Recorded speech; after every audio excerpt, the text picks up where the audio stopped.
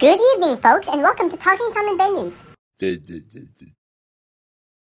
We have some breaking news there are bu- that there are bombs everywhere to attack the city. Yes, it was a terrible explosion. Everyone almost got hurt during that explosion.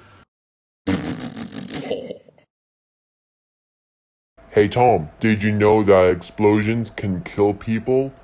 yes,